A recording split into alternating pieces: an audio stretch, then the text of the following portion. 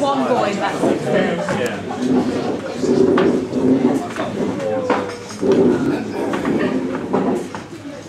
Stella, Stella, my love, send in the next auditioner, please. And Mr. Spigot, I believe. Oh, Mr. Spigot, I believe. That's right, Spigot my name, Spigot by nature. Yes, That yes. is my game. Mr. Spigot, Yes. if you could remain motionless, please. Oh, right. Yes, um, if you just take a seat Thank you there. very much. Now, Mr. Spigot, you have applied for the role, have you not, of Tarzan? Oh, yeah, that's I couldn't help but notice, Mr. Spigot, when you walked in the door, that you are a one-legged man. Oh, you noticed that? I noticed that, Mr. Spigot.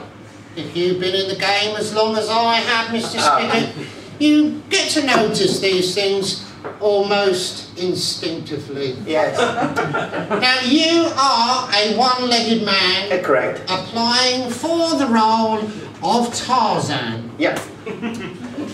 A role more often than not taken by a two-legged artiste. That's very true. Yes, very true indeed, Mr. Spigot. Now you, a unidexter, Yes. have applied for the role. Yes.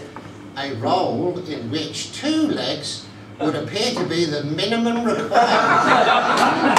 Yeah, probably, yes. Hmm. Need I point out, Mr. Spigot, uh, in which area you are deficient as regards to landing the role?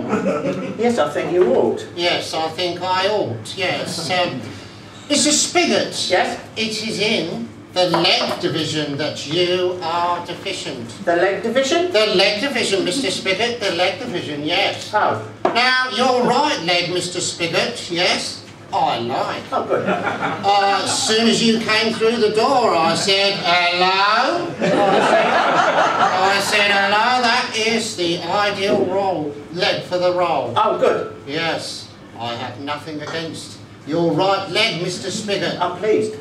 The trouble is, Yes? neither do you. You fall down, Mr. Spigot, on your left. Uh, you mean it's inadequate? It is inadequate, Mr. Spigot, yes. It is inadequate, yes. Uh, now, do not give up all hope. I mean, I think it is unlikely that we are going to get a unidexter Tarzan flying across the jungly tendrils. Oh, right. But there is hope, Mr. There's hope? There is still Oh, good. hope, yeah. there is still hope, Mr. Spigot. I'm glad of that. Now, if we had a no-leg man come in here Yes? demanding the role, Okay, yeah, a legless man coming in here demanding the role, I would tell him, Mr. Spigot, I'd say, get out. Oh, right. I would say, run away. Oh, I would. And I would say that you yes?